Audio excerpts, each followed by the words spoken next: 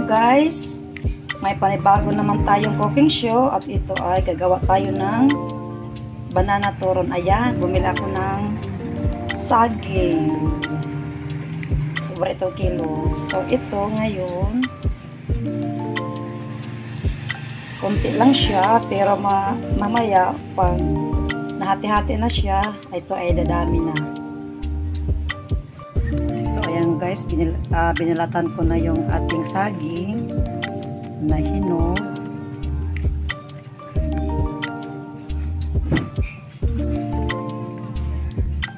At ngayon, oh, hiwain natin yan. Isang buo, hiwain natin isa. So, dalawa na siya.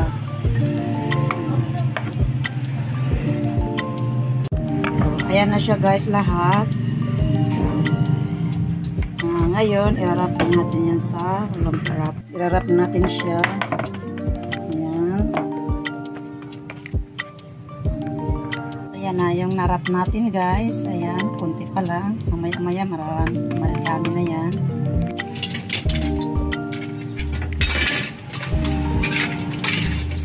So ngayon guys, gagawa ko ng banana turon. Ito na siya.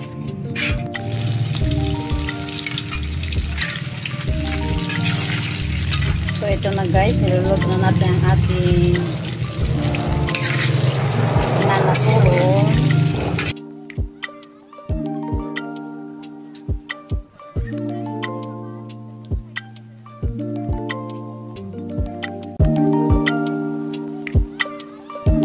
So, ito ngayon guys. Brown na siya. Sorry nito. Pa atin hain na. At ilalagay na dito.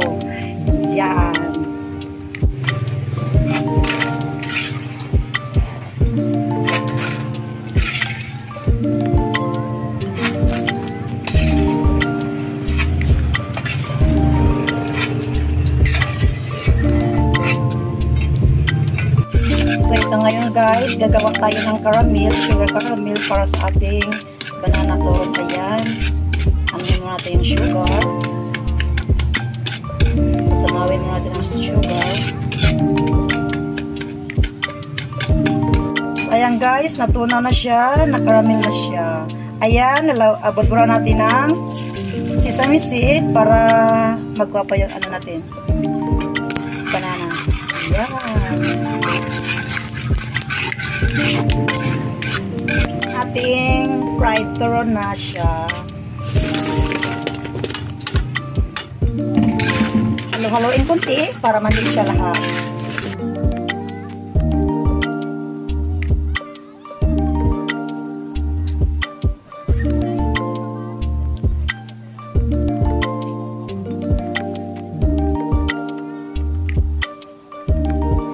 Na siya guys ngayon. O tingnan nyo guys kung anong itsura ng ating banana turon.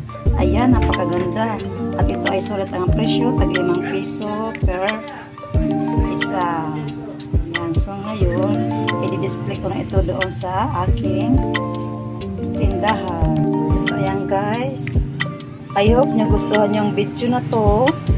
Thank you for watching guys. Bye-bye!